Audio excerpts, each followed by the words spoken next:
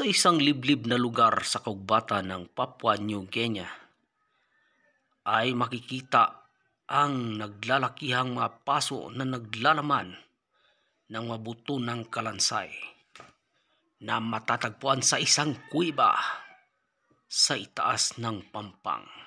Pinaghihinalaan nila ng kuibang ito ay pinag-iimbakan ng mga kayamanan ng mga sinaunang tao sa Papua New Guinea.